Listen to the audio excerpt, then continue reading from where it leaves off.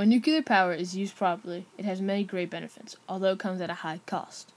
When Germany invaded the USSR in 1941, all of the fundamental research on the nuclear power that the USSR had discovered, which was originally used to find alternative power source, was now turned into military applications. With the creation of the nuclear bomb in World War II, nuclear power was disdained and feared due to its destructive force. However, after World War II, countries began to realize nuclear power could be used as an alternative power source. Before the start of World War II, the USSR was making great progress in nuclear physics and had begun to understand how to harness and properly use nuclear energy. The USSR was working on radioactive materials they had found in Central Asia, such as rocks containing small amounts of uranium 235. During the 1917 revolution, the USSR boosted their scientific research and established 10 physics institutes in major Russian cities. Many famous scientists were also put to work on discovering more about nuclear power and energy, such as Kirill Sanyakov, Pyotr Kapitsa, and Vladimir Vernadsky. This helped boost research a ton, and by the 1930s there were several research centers specializing in nuclear physics. One of these, called the FTI, was organized by Kirill in 1931. Unfortunately, by this time, many scientists were falling victim to Stalin's purges, and over half the staff of the Kharkov FTI were arrested. Nevertheless, the USSR saw great advances in the understanding of nuclear energy and power. The United States joined World War II on December 8, 1941, after the bombing of Pearl Harbor, the United States developed a top secret plan called the Manhattan Project to create a nuclear bomb and pose as a world nuclear power.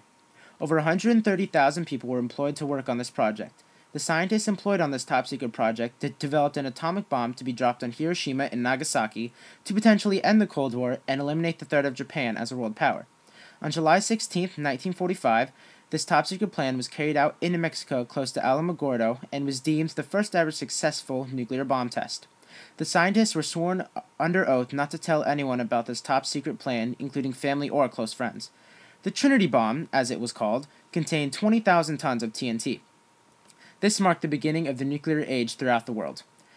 After word got out that the United States had created the first ever nuclear bomb, the rest of the world began to develop their own kind of nuclear weaponry, thus starting the worldwide nuclear arms race. Soon after, the Soviet United Union. States had their own successful nuclear bomb test, codenamed First Lightning. After the United States and the Soviet Union pulled ahead in the nuclear arms race, the United Nations wished to eliminate any nuclear weaponry because they posed as a threat to the United States along with the rest of the world. Countries all over the world followed in the footsteps of their rising competitors, with as many as 13 countries having successful tests in a matter of years after the start of the nuclear arms race. During World War II, Japan had begun to pose as a world threat to the safety of the United States.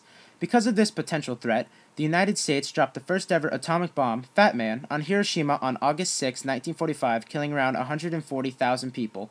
Only three days later, Little Boy was dropped on Nagasaki, killing close to 74,000 people. Then Seven years later, later, on October 16, 1962, the Cuban Missile Crisis had begun. The Cuban Missile Crisis lasted about a, a week long. This event started when the United States found out that the Soviet Union had hidden bombs in Cuba and could aim them at, at the U.S. at any time. This was the closest point in history that the world had began on the verge of World War III. During World War II and the Cold War, nuclear energy posed as a threat to every country worldwide. After World War II and the Cold War, nuclear energy was and still is used as an alternative power source to supply parts of the world with electricity in a more eco friendly way.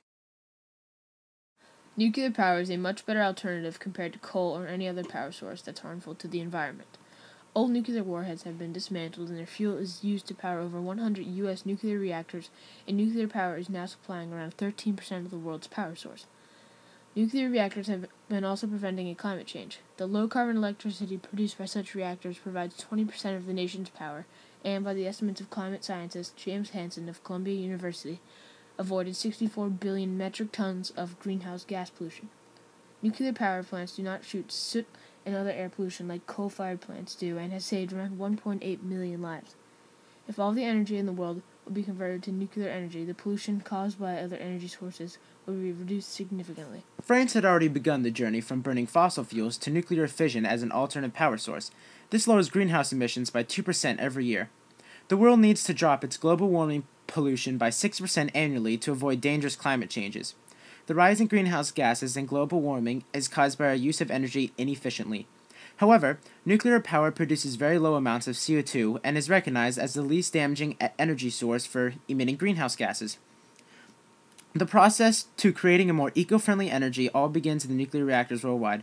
The first step into creating nuclear energy is, gathered, is gathering the fuel. The key to creating the nuclear energy is the small uranium 225 pellets that are smaller than an inch wide. However, one small pellet produces the same amount of energy as one ton of coal. Thousands of these small pellets are placed in 200 plus rods that are over 12 feet long. This part of the nuclear reactor is called the fuel assembly. The next part of the reactor is where the e- electricity is actually produced. In the reactor, uranium atoms are split when they combine with neutrons. This chain reaction produces heat, which is controlled by control rods, which attract neutrons. The heat that is produced is then transferred to the first of three water tanks called the primary coolant. In this tank, the heat becomes pressurized. The pressure begins to apply to the heat, preventing boiling and spilling out of the tank while, while it cools. After the water cools to a certain type of temperature, it then travels to the steam generator. In this part of the process, hot water passes through tubes near steam generators. These tubes are surrounded by another water tank called the secondary coolant. The water then travels through the secondary coolant and is turned into steam. The steam makes its way to the turbines. The produced steam then pushes a giant turbine to power an electrical generator. The magnets inside of the generator produce e- electricity. While the steam passes over the third water tank, the steam condenses back into water. The newly condensed water finally stops at the cooling towers. The water circulates through the tower to continue to cool down. Water is then pumped to the top of the tower, which allows the water to pour down to the towers, which cools the water further. Fans at the bottom of the tower pull out the air through the water, which lowers the overall temperature of the water. After the water is cooled to the right of the temperature, it, it flows back up into the turbine to restart the process again.